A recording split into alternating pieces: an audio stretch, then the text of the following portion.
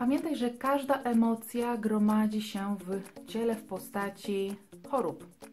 Dlatego, jeżeli nie nauczysz się uwalniać od emocji, nie nauczysz się ich transformować w pozytywne uczucia, prędzej czy później zaczną się one materializować.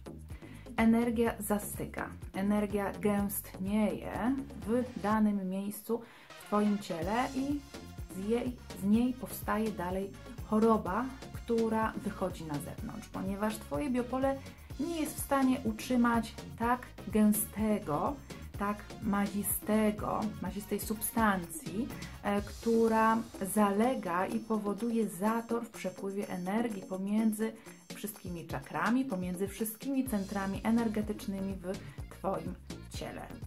Pamiętaj, aby była równowaga pomiędzy światem duchowym i światem materialnym. Jesteś tutaj na Ziemi, aby doświadczać wszystkiego, co jest związane z życiem ziemskim. Także nie oddalaj się od swojego ciała. Uznaj je i zaakceptuj takie, jaki jest, mimo jego niedoskonałości. W momencie, gdy w pełni zaakceptujesz swoje ciało, gdy w pełni pokochasz je i zaczniesz przesyłać mu energię bezwarunkowej miłości, ciało zacznie z Tobą współpracować, a emocje nauczą się, w jaki sposób transformować się w uczucia. Dzięki energii wybaczania emocje znajdujące się w Twoim ciele upłynniają się, stają się energią uczuć, energią, która pozwala na przetransformowanie tego wszystkiego, co dzieje się dookoła Ciebie.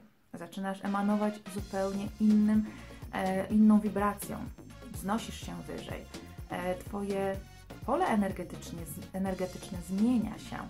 Stajesz się energią bezwarunkowej miłości. Masz głębsze połączenie ze źródłem, z wszechświatem, ze stwórcą.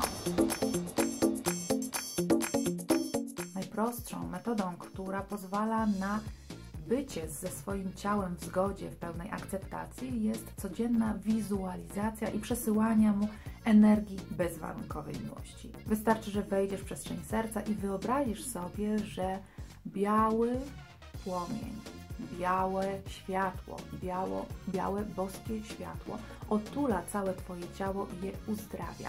W ten sposób przesyłasz energię bezwarunkowej miłości prosto ze źródła. Oczywiście Oprócz tego możesz stosować takie rzeczy jak balsamowanie swojego ciała z miłością, kremowanie, dotykanie swojego, swoich chorych części i przesyłanie im energii bezwarunkowej miłości.